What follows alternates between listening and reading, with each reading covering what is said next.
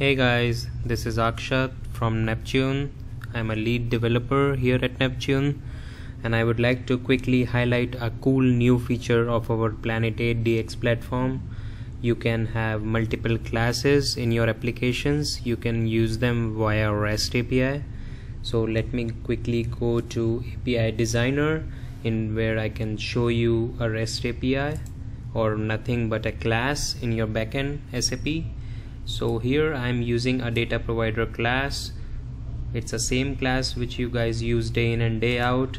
Just the exception being you have to use this new interface in your class and you are good to go for the REST API so you can just define this REST API and can add uh, your operations or these are nothing but your methods in your classes and you will be good to go so let's go to our application designer and let's design a application on the basis of two classes.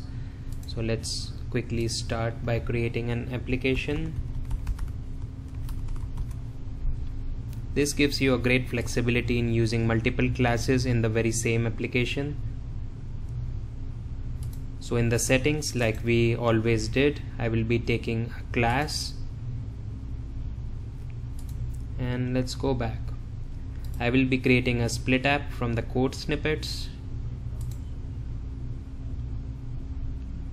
And let's pull a REST API component for our second class which I just showed it to you guys. I will add it to resources. Select the very same one. Select the operation or the method in your class. Click on binding and we are good from here. Set init load to online.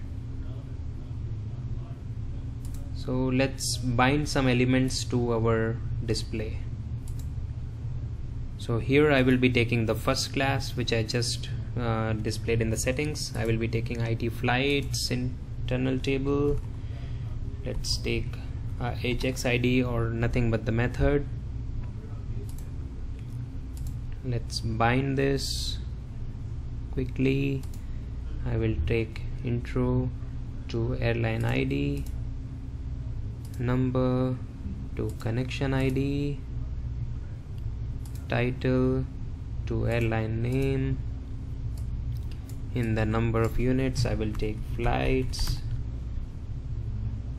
Let's activate this and let's see what is the output currently.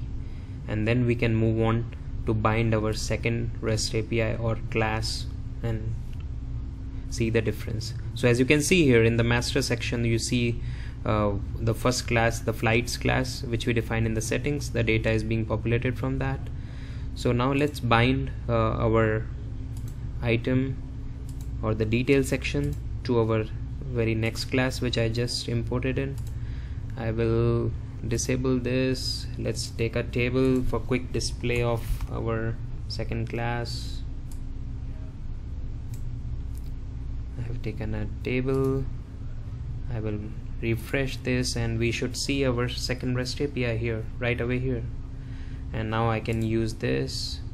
Let's go back to REST API and let's enable this to receive data going back to the table I will quickly import some fields and let's activate this.